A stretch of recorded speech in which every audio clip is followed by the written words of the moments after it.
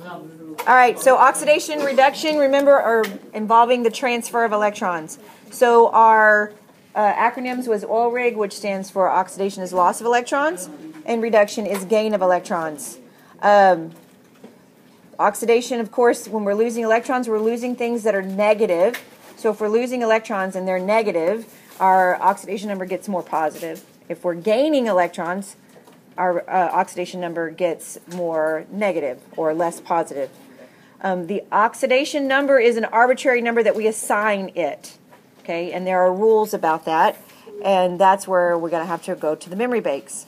Okay, the oxidation state of any free element is zero, including your diatomic. So if I have oxygen gas, its oxidation number is zero.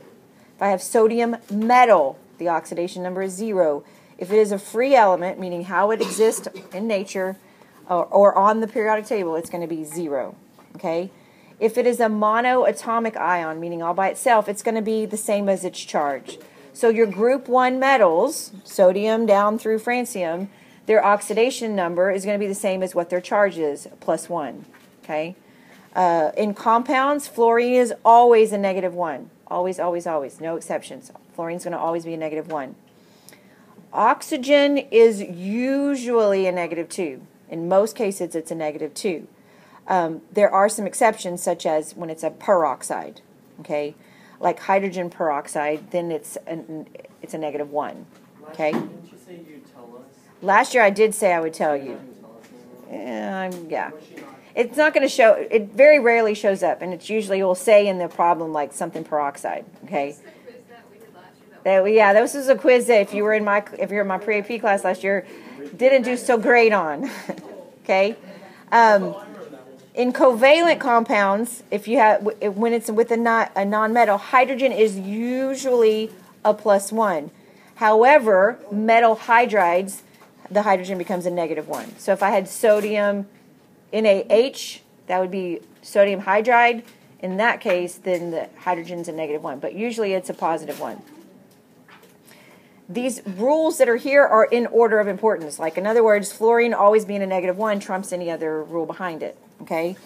When you're looking at the uh, sum of the oxidation states in a compound, if it's a neutral compound, then your sum has to be neutral. So your zeros, your, your positives, and your negatives have to add up to zero.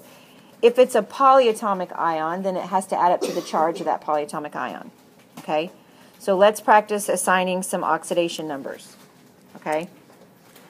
So if I have CO2,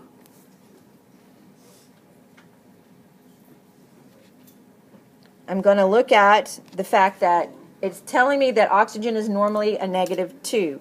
So oxygen would be a minus 2 as its oxidation state. The fact that I have two of them here, what is my total negative charge? Negative 4. Negative 4. So that means that carbon's oxidation state has to be what? Plus 4 a plus 4. Okay? Sulfur hexafluoride, we know that fluorine is always a negative 1, but the fact that I have six of them, what does that mean sulfur needs to be here? A plus 6. So its oxidation state would be a plus 6. Okay? Um, for nitrogen trioxide, nitrogen trioxide, oxygen's a negative 2, in this case, what is nitrogen? Plus 5 because it's negatively charged. Oh, that is on there. Okay, thank you. I didn't see it. Because it's negatively charged. Okay, I was doing. I was doing. I, I wrote, I didn't rewrite it correctly. NO3 minus, which is nitrate, this would be plus 5. Okay? Now, just a word of warning.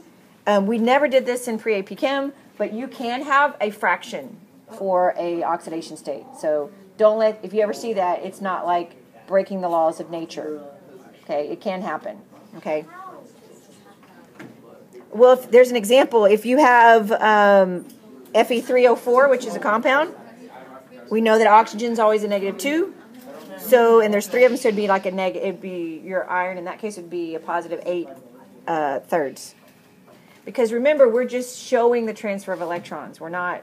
These are not. These are arbitrary. These are like ways for us to keep up with it. Okay. So The- It, it happens occasionally. Okay? It happens occasionally. Okay? So that's how you sign oxidation states. Okay?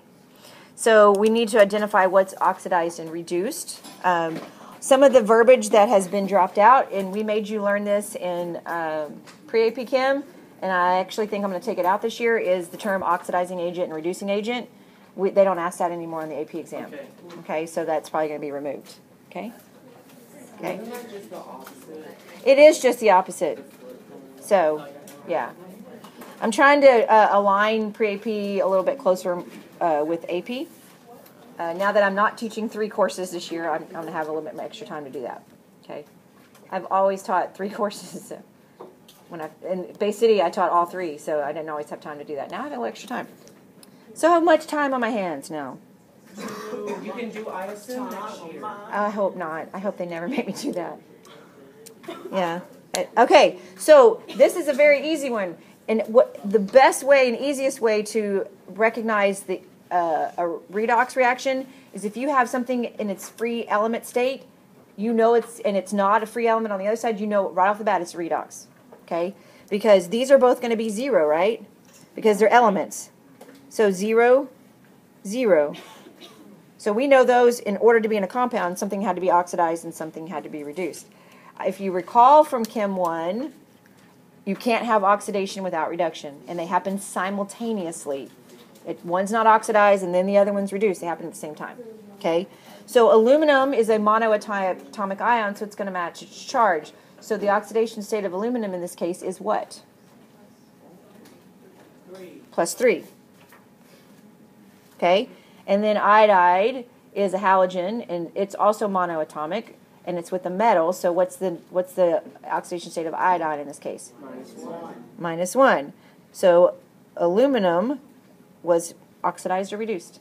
Uh, Did it gain or lose electrons? Gain. Lost. Lost. What? It's a plus. Aluminum was oxidized.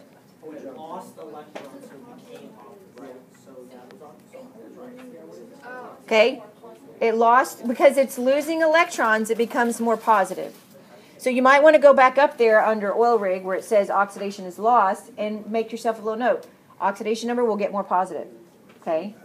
For reduction, it gains electrons, so the oxidation number will get less positive or more negative, however you want to look at that. Okay? And so that means that uh, iodine was reduced and it gain, each one gained one electron. Okay? Any questions on that? Does that makes, mostly make sense? Ringing a bell? Okay? I mean, on Tuesday.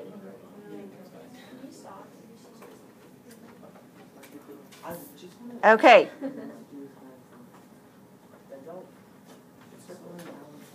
Again, we're going to be um, identifying what's oxidized and reduced here. In the first reaction, what's going on? Well, I always I always go to the first thing I see. Oxygen is a free element, and then it's zero, so it's changing. So oxygen is going from a zero char zero oxidation state to a negative two. So what did it do? It gained. It gained. Okay. So oxygen O2 is reduced. It gained and was reduced. Okay. So what's going on? Which one is going to be oxidized? The lead? Staying plus two on both sides, right? The lead. So the lead's not doing anything, right? It's the sulfur. Okay, so that means let's look at the sulfur. Sulfur's going from a negative two right here. And what's it over here? No, it's a positive four on the other side. So if it's going from a negative two to a positive four, it did what? It lost. It lost. And how many electrons did it lose? Yeah, it lost six electrons. So it's definitely oxidized. Okay? In the second reaction, what's going on? Um, What's the look always to make your life yeah, look at the free elements. Zero here, plus two here. So what did it do? It went from a plus two to a zero, so it got less positive, right? Reduction. So lead gained two electrons. So it was reduced. Okay? And then what changed? Where's it? So the oxygen, remember, is a negative 2 unless it's a peroxide. The carbon. Carbon. So it's carbon because carbon dioxide is not peroxide. So carbon's going from a Plus two. Plus two to a plus 4. So carbon lost two electrons. So it was oxidized. So we are we good so far? Remember this a little bit? Yes. We're good. Okay. Then let's balance these babies. Balancing redox reactions are my favorite ones to balance. Absolute favorite. I love them. Absolute 100% favorite. It's like a puzzle. Come on, I've been inactive. It's there we go. So, in a nutshell, when we're balancing redox reactions, not sure what happened there. Okay. You're going to divide your uh, equations into the half reactions, oxidation and the reduction. Uh, you balance everything except for hydrogen and oxygen. You always save them for last. Okay? In order to balance any out, any out any oxygen, we add water. Okay? Then, of course, if we're adding water, that throws our hydrogen count off. So the way that we balance hydrogen is adding hydrogen ions, and then you balance your charges by adding electrons. I'm going to walk, I'm just telling you the process, but we're going to do it, of course. And then you have to put your half reactions back together, and you have to, if you don't have the same number of electrons in each half reaction, you have to multiply by an integer to get there to be the same number. Okay?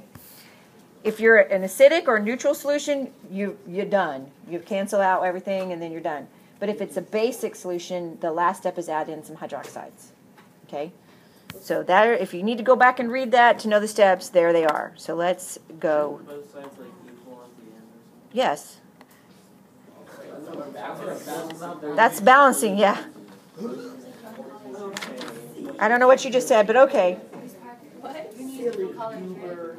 Uh, when we did it in my class, if you have different color pens, it's very helpful because you can kind of follow your steps. I, well, I can change. I'm I'm that talented. Yeah. And I'm also going to put a new new screen up because I can't fit it in there. It just depends. A couple of different colors. If you have different colors, it's good to just do the process. You don't have to by any means.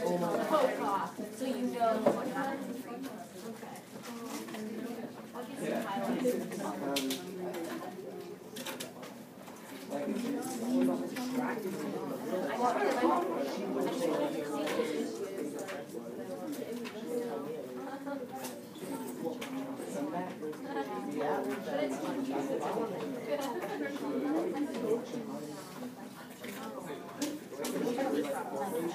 right, here we go. So we have this reaction. We're going to separate them into our half reactions. So we're going to start with uh, the man, the permanganate. So we have MnO4 minus going to Mn2 plus. Okay, so that's the one half reaction. The other half reaction is very easy. It's Fe2 plus going to Fe3 plus.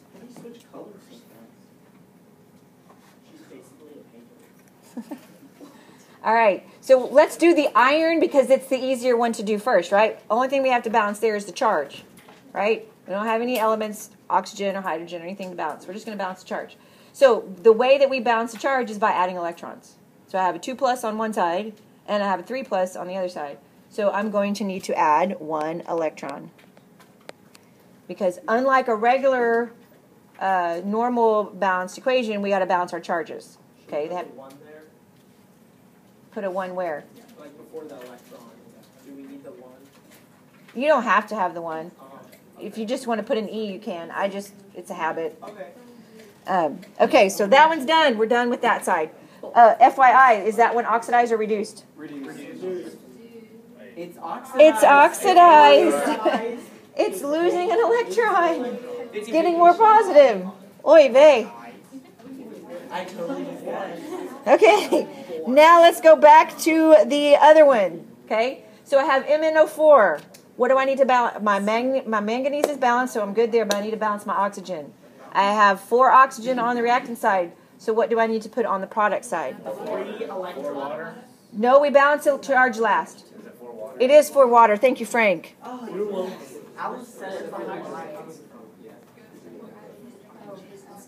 So now my oxygen is balanced. Let's raise our hands for questions instead of peppering me with them all at one time. Okay? I questions are great, but if you all ask them at once, I cannot. My brain doesn't gets overwhelmed. Okay? So I have. Why did I add four water? Because that's the only way I can balance the oxygen. So now I have four oxygen, but now what's not balanced? Hydrogen. So on the other side, how, what do my notes say about balancing hydrogen? What do I add? Hydrogen ions. So how many do I need to add to the reactant side? Yes, ma'am, I do. Eight. Eight hydrogen.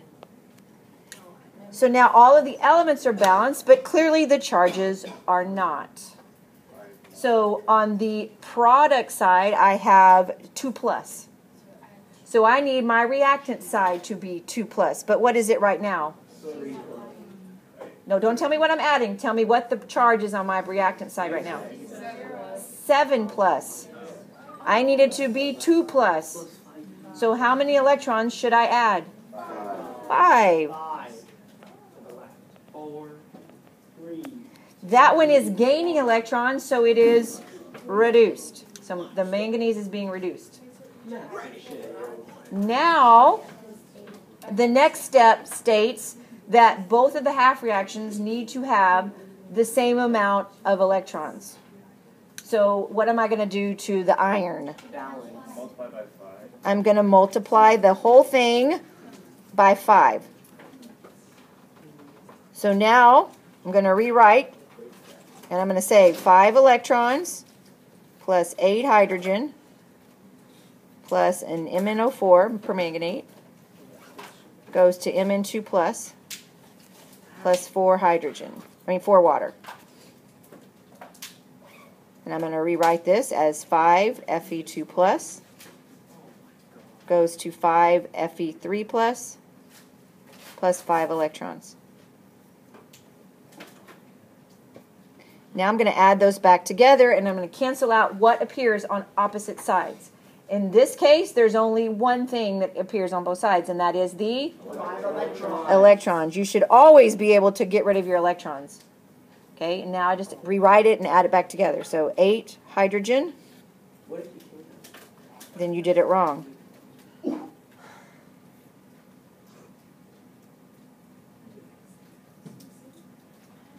And this is an easy one because we really only had to balance one of the half reactions hard. And now we want to go back and double check that we have the same elements on every side, but we also want to double check that our charge is the same on both sides. So add them up to get the same charge on both sides. Ten, nine, eight, seven. Oh, wait, there's a bunch of- oh, eight,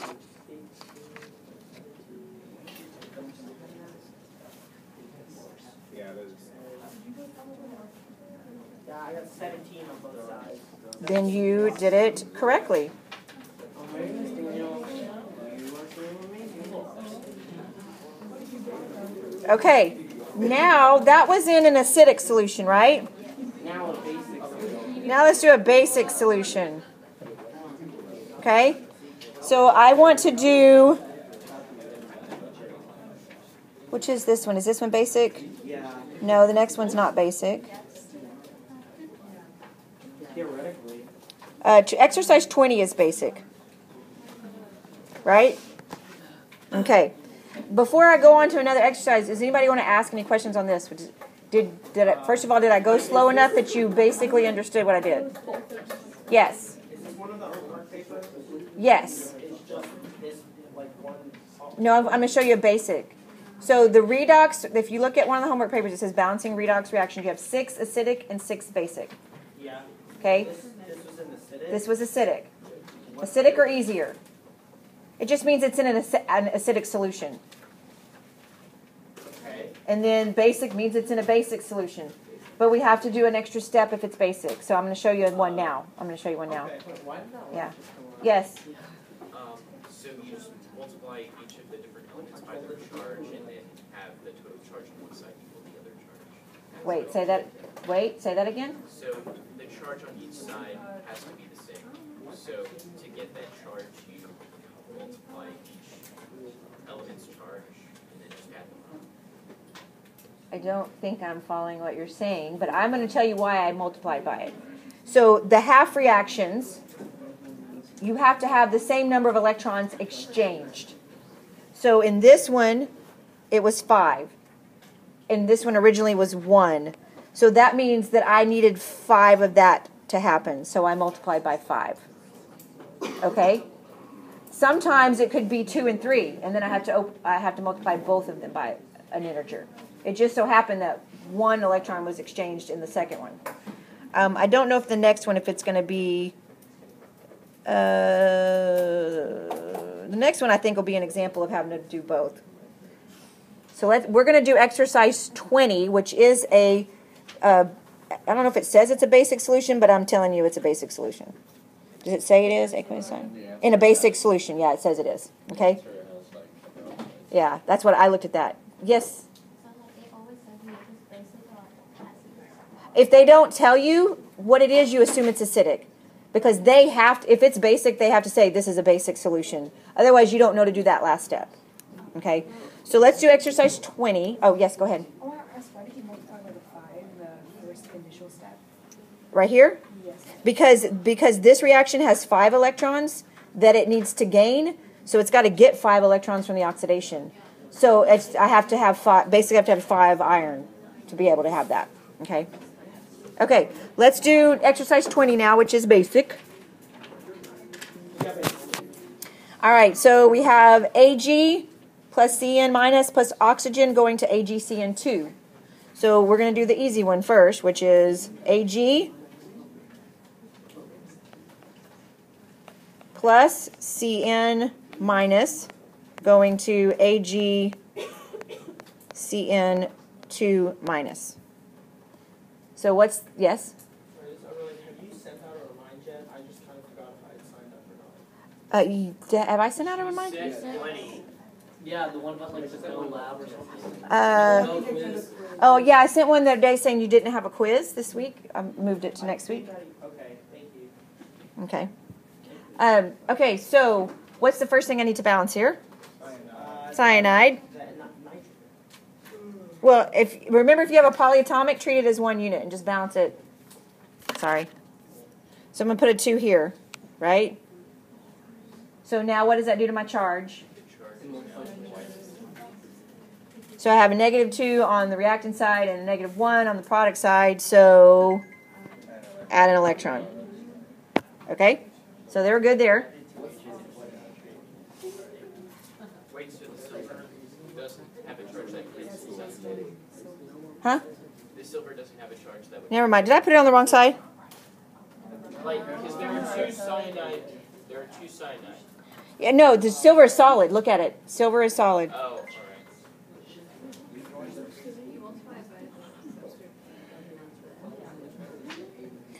I feel like I'm doing something wrong because they're telling me it's going to have four silver, and that doesn't seem right.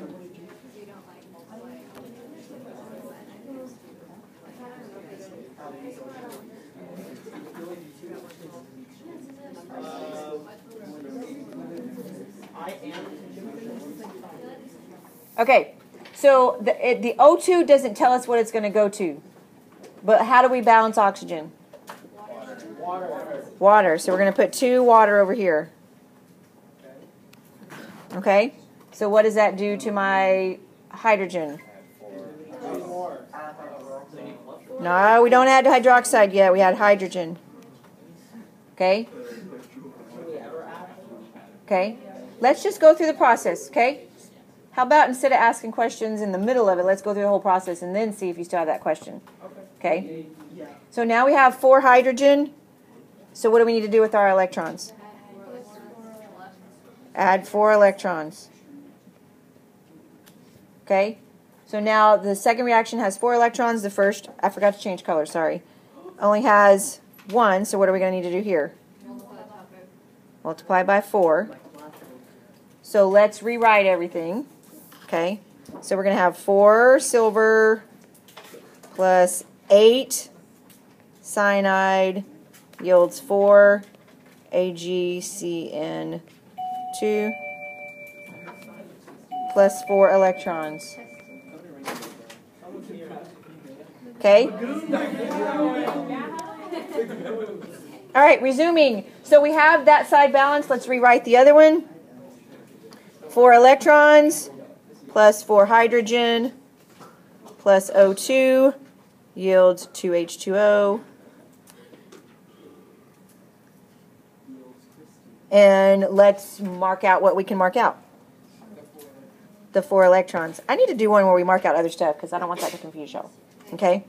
So we rewrite 4Ag plus plus 8Cn minus plus 4 hydrogen plus O2 yields 4Ag C, oops, forgot the C, and 2 minus plus 2 H2O. Now, this is a basic solution, so can we have free hydrogen floating around? Absolutely not.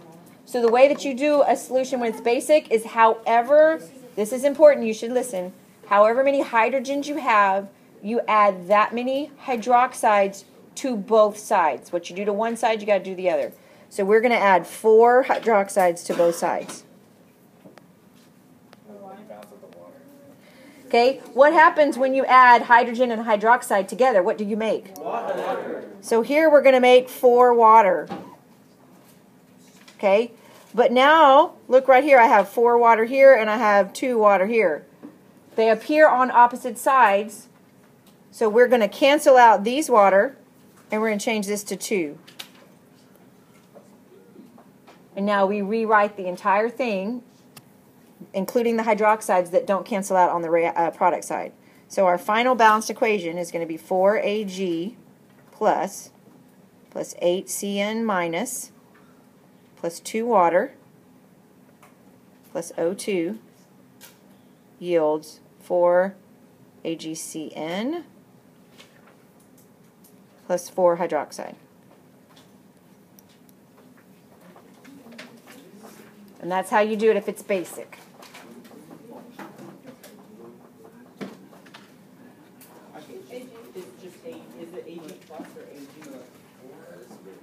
It's just AG. Oh, no, it's not plus. I'm adding the plus. That's just habit. Yeah, that is total habit. Did I do that throughout? Oh my gosh, I'm so sorry. Alex, if you're watching this video, I'm sorry.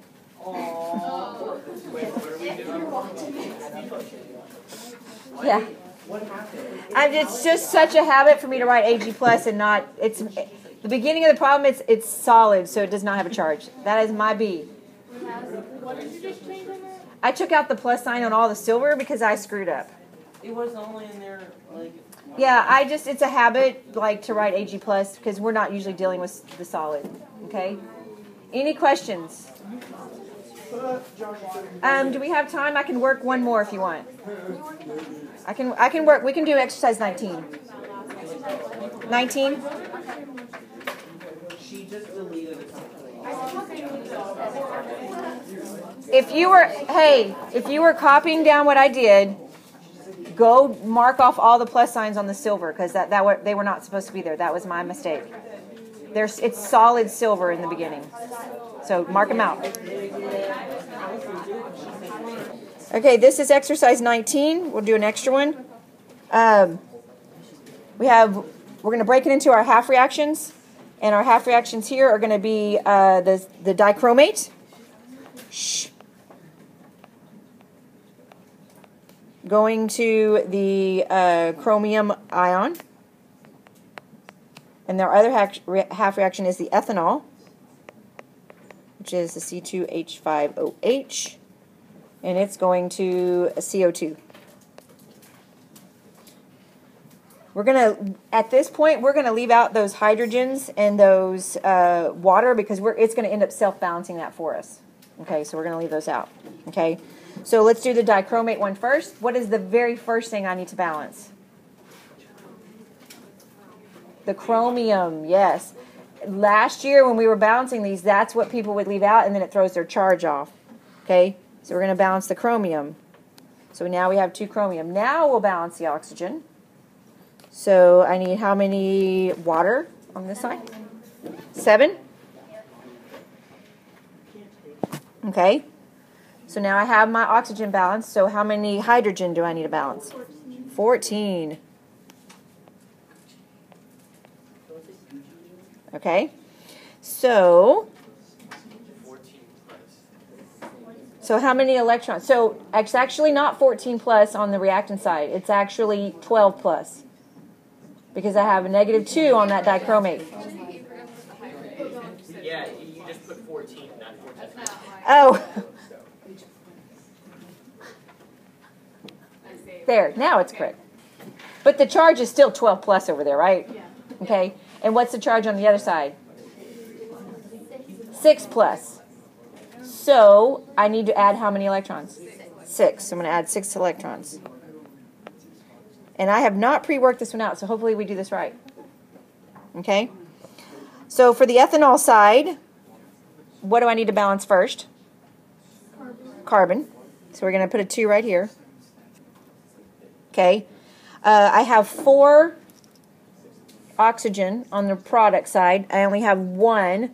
Please be quiet. Okay. Thank you. So I have four oxygen on the product side, and I only have one. So what do I need to do over here? Three water. And now, how much total? Sorry, it fades off whenever it's. I'm still for too long. So I have how many total hydrogen on the reactant side here? Twelve. 12 is correct. Don't forget about the H right over here. So I have 12. So I need how many over here? 12. Let's remember to write the hydrogen this time. Okay. So neutral on the uh, reactant side here, but 12 plus. So how many electrons do I need? 12. Okay. So let me switch colors. So I'm going to multiply the top one by 2, right? So let's rewrite. So we're going to have 12 electrons plus, wow, 28, right? 28 hydrogen plus 2 of the dichromates. Four chromium plus 14 water. And then I'm going to add that to 3H2O plus a ethanol. 2 CO2 plus 12 hydrogen plus 12 electrons. Crossing out the electrons first, that's the easiest, but we're going to be needing to cross out some hydrogens and some waters here, right? Yeah. Okay, so I have 12 here. So 28 minus 12 is how much? Sixteen. So we're going to do this. I like to circle it. That's just me, so I know that I canceled it out. That's just, you don't have to do that. It's just my habit. And then I have three water here. So that's going to become 11. So if I crossed everything I can cross out, my final equation will be 16 hydrogen plus 2 dichromates plus an ethanol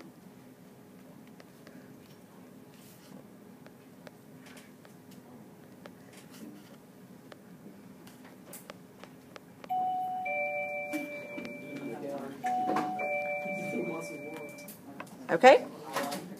Now that would that one I believe did it say it was acidic or it just didn't say anything? Okay. So if it didn't say anything, we assume it's acidic. But just for grins, let's also do it as if it was basic, so that way you have both. Because I feel like we should do another basic one before y'all go. So now we're going to say if basic. If basic, what would we do here? Add 16 hydroxides, right? So this would be acidic, but if we're gonna, we're just gonna do an extra step to practice basic. So if it were acidic, we would add 16 hydroxides. This would become 16 water. So then we would cross out this water and change this to 5. So for basic, it would be 5 water plus 2 dichromates plus an ethanol